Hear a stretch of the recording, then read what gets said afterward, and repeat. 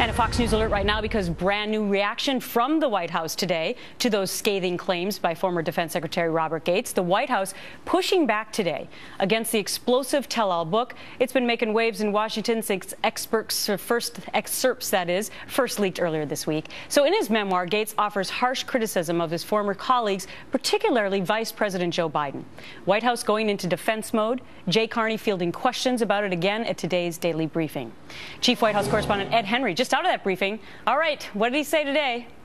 Well, good to see you, Gretchen. Uh, what's new today is Jay Carney says there's been no phone conversation uh, between the president and Secretary Gates about the book. He said they did have a phone call over the weekend after Secretary Gates, unfortunately, uh, I believe he had slipped and he hurt his neck, and the president just wished him well. Uh, perhaps knew the book was coming out, but Jay said he had no readout on whether they discussed the details uh, of all of this. They clearly want to turn the page because what's really new today is that Speaker John Boehner is pivoting sort of off of this book uh, and the allegations about the president's leadership leadership that come out of the book, uh, and specifically jumping on all of these headlines coming out of Iraq.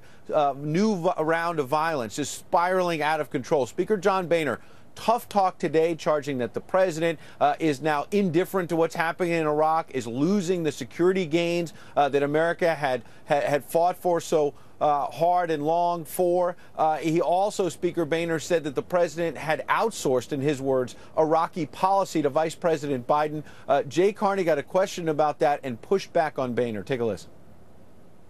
Uh, I don't think the book had come out, so. And he hadn't heard about it yet, the details. I, I just don't know. Yeah, I mean, certainly not the details. We had not, nobody, as I said yesterday, we got the, uh, the, I got the book the night before, so. Uh, but we had seen some reports, uh, the, the earlier reports about it. But, but again, his view is the one I repeated uh, several times yesterday and just repeated again. Uh, but I don't, you know, I don't know. Uh, I don't know that they have. I don't believe they have talked uh, in the last few days since they talked last, and I'm not sure when they'll talk again.